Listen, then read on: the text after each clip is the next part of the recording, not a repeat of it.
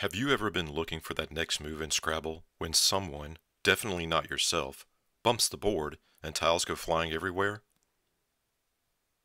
So frustrating! So pardon the drama, but uh, that's actually happened on numerous occasions, and I'm not going to say which family member caused that issue.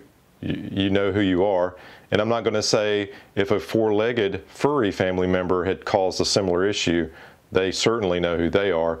But uh, all these things have happened. This board is slick as glass. This is a vintage 2013 standard cardboard Scrabble board. We have the wooden tiles and they just slide right across this. So if you nudge it, if the wind blows, if a dog runs through, if you're playing on the floor, again, all these things have happened, it can kind of ruin the game. So with the help of Inventables and the X-Carve, I've solved it once and for all. Let me show you how I did it. I started with cutting the 225 pockets. This is one pass at a full depth of 1.75 millimeters. The 1 8 cutter did great even with all this cutting and even having to cut through the glue layers of the plywood. Here's a quick shot of some of the text being cut.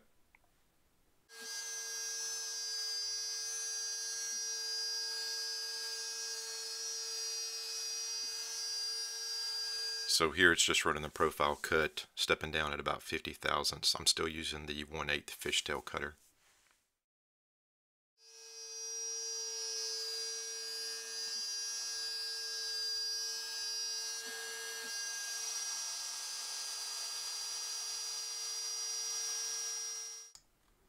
So the cut's almost done. It's leaving some generous tabs around the outside. I could have gone smaller, but better safe than sorry.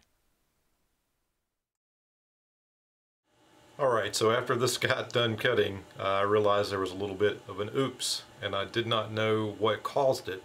So after uh, kind of collecting myself and going and eating dinner with the family and going back and looking at the Fusion file, I saw where in the 225 pockets that are on the top for the game pieces to sit in, one of those, instead of selecting the floor of the pocket, I inadvertently selected the top edge of the hole and that's what caused the issue. So fingers crossed, I am going to try to run a job that is that one pocket at the correct depth. So bear with me, I'm freehanding this, but I wanted you to see just how well this turned out. This was the first run. I've been working on this file for weeks. Um, Fusion that I've found gets a little cranky when you have so much uh, tool paths, so many pockets, um, and you can see the one, and, it, and it's there, but it's just not the same depth, and I really want it to be the same. And the, the insult to injury is because this is plywood, it kind of went down and it's in between wood layers, so you've got a little bit of glue, a little bit of color in this, and it just makes it stick out that much more. But everything else um, I'm just tickled to death. It turned out great. So uh, we're going to try to do a job that just takes care of this one pocket.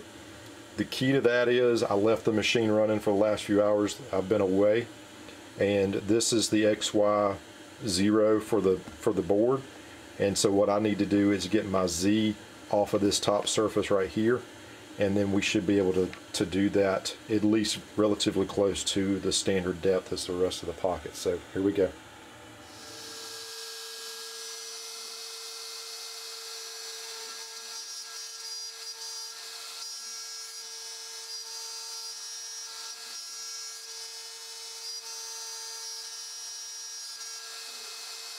Alright, so I was able to save the part um, that one little pocket that wasn't at the proper depth I was able to go back and you can't tell which pocket it was. Uh, the engraving suffered from having the order of operations kind of out of whack compared to the rest of the pockets, but you can still read it.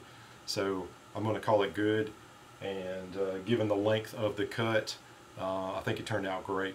And it's and again, it's a huge fusion model. I'll have a link down below where you can download this if you want to to use it, cut it, uh, modify it, whatever you want to do to it, uh, it'll be there for you. So let me get the material freed off the X-Carve and I'll cut, uh, I'll cut the tabs loose and we'll take a look at it.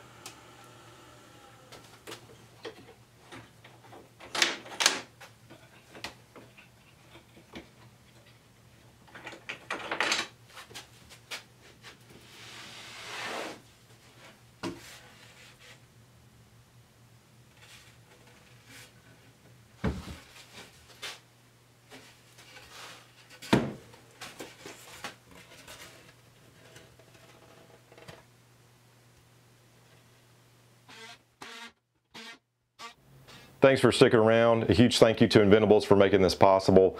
And uh, I think the project turned out great. It's definitely going to serve the purpose that uh, it was intended for. Some things that you could do, you could carve a grid pattern on the backside and use it for uh, checkers or chess. Um, we like to play a lot of cards, be it Uno or Rummy or whatever, and uh, we can certainly use the backside of that for uh, impromptu card table. Uh, so there's lots of different things you could do, Chinese checkers, who knows, uh, many different options there because you kind of have a clean slate on the on the backside of the uh, Scrabble board. So use your imagination. But uh, thanks for sticking around and watching the video. Any links to the products that were used, be it the X-Carve, the easel software that tells the X-Carve what to do, uh, you can set up an account for that for free. Or the special cutter bits that I used, the fishtail down cut uh, 1 8th and 1 32nd uh, bits. All that information is going to be down below, so check those out. And uh, if you have any uh, ideas on how you can make it your own, let me know down in the comments below. Thanks for sticking around, and we'll talk to you next time.